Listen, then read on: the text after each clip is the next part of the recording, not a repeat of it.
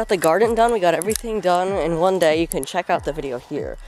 But here's the beginning of June garden tour from your boy. Now the strawberries are starting to come in as you can clearly see here. In fact, this one might actually be ready. Let me go to one I see that's not like absolutely like beaten to death like that one. This one. There we go. And here we are in the garden. This is my simple garden setup.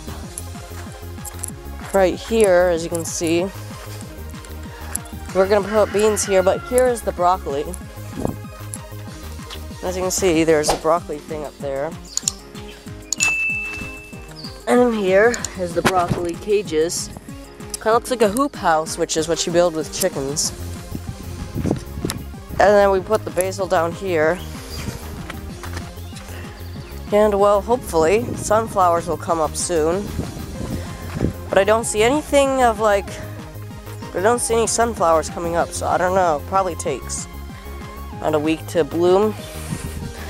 The only thing is that like, I don't see anything with like any other things like cucumbers too, so probably still just waiting for them to bloom. Mm. Cherry tomatoes. Can't remember what we're gonna put here. These are the cucumbers that are still growing, and here are the current cucumbers. Yeah, I'm trying to put out one garden tour a week. So that way you can basically see how my garden evolves this summer. And I hope to actually make a winter garden that actually grows this year. We got some potatoes coming in. As you can see, there are some potatoes. And they do look like they are coming in.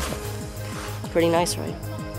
I kind of need to rush this video together, but up here is where we're going to be planting corn. And I think I already saw a thing of corn coming up, a few of them over here. As you can see in there, there are some blossoms coming in of corn. Here's one. Here's a good example right there. Do you see it? Obviously, I'm not going to step on this because I don't want to kill my corn plants. Well, not mine, but don't want to kill them.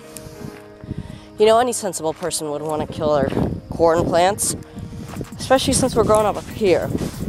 Now, if you did enjoy, be sure to like and subscribe to the channel and see you next video.